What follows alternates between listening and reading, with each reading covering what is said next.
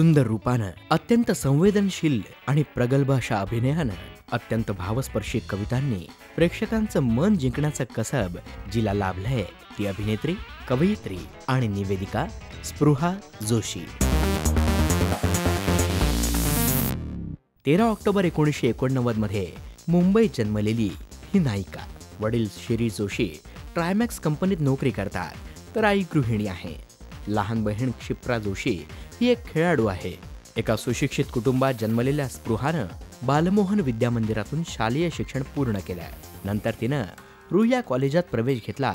तो महाविद्यालयीन शिक्षणासाठी. पण बालमोहन विद्या मंदिरात तिला तिच्या पहिल्या गुरु लाभल्या. त्या शिक्षिका श्रीमती विद्या पटवर्धन.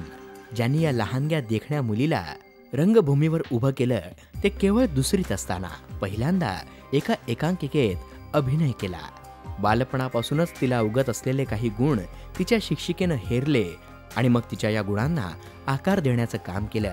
ते श्रीमती विद्या पटवर्धन आणि सौ वर्षा भावे यांनी. शालेय जीवनामध्ये तिची गट्टी जमली ते अभ्यासाशी.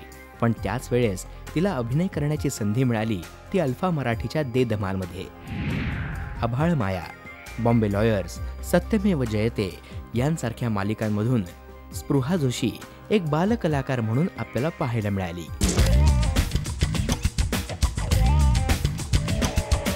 रुईया कॉलेजात प्रवेश घेतल्यानंतर तिथल्या कलेच्या वातावरणामुळे तिला अनेक स्पर्धांमध्ये सहभाग घ्यायला मिळाला. तिनं इथंच गमभन एकांकिकेतही काम केलं आणि या एकांकिकेनं तिला तिच्या आयुष्यातला पहिला चित्रपट मिळवून दिला. गजेंद्र अहिरेंचा मायबाप. त्याच वेळेस तिनं अनेक वेगवेगळ्या एकांकिका केल्या.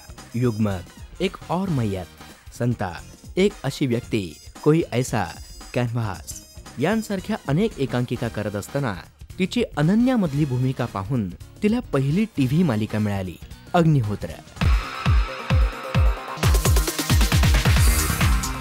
एकीकडे शिक्षण तर दुसरीकडे टीव्ही मालिकेमध्ये अभिनय सुरू असताना तिला वाटत होतं की आपण उच्च शिक्षण घेऊन एखादी आय एस ऑफिसर व्हावं.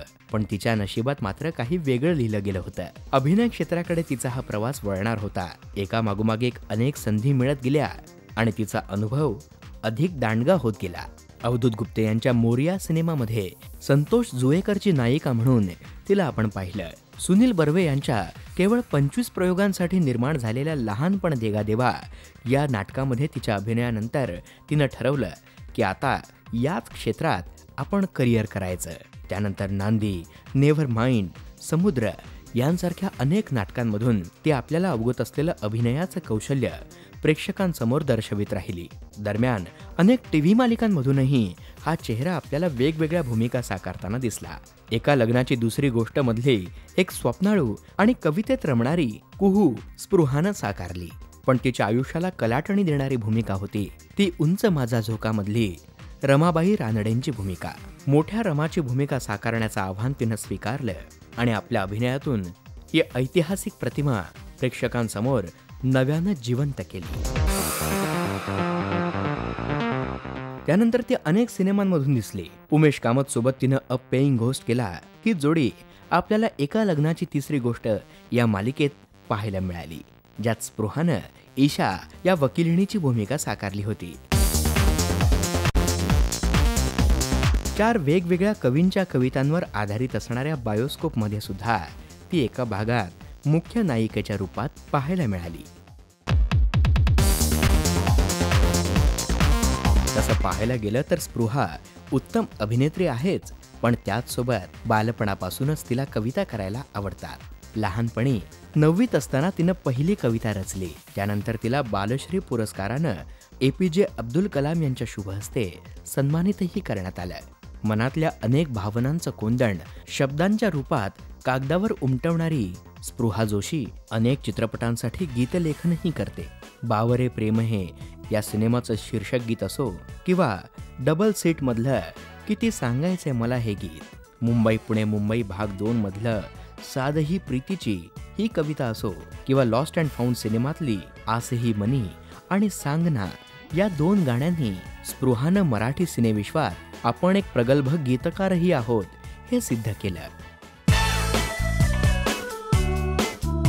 अभिनय कविता लेखन यांसमवेत तिचं मन रमतं ते काही कार्यक्रमांचं निवेदन करण्यात. त्याविषयी तिनं भाऊ मराठेंचं मार्गदर्शनही घेतलेलं आहे.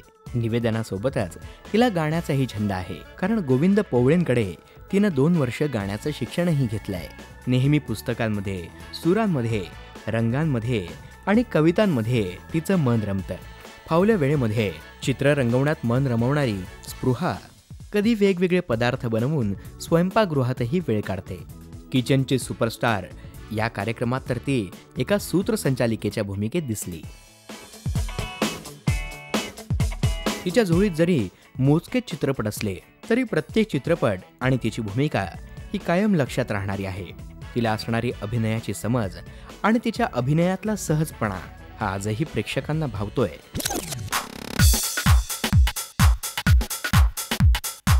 मला काहीच प्रॉब्लेम नाही या सिनेमात. स्पृहा गश्मीर महाजनीसोबत स्क्रीन शेअर करताना दिसणार आहे.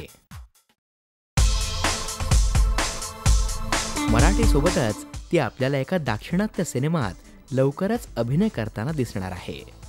शब्दांशी आणि कवितांशी घट्ट मैत्री करणाऱ्या स्पृहा जोशीनं तिच्या आयुष्याचा जोडीदार निवडला तो वरद लघाटे. दोघांनी लग्नही केलं. तिनं लिहिलेल्या असंख्य कविता चांदण चुरा आणि लोपामुद्रा या काव्यसंग्रहांमधून प्रकाशित झाल्या आहेत.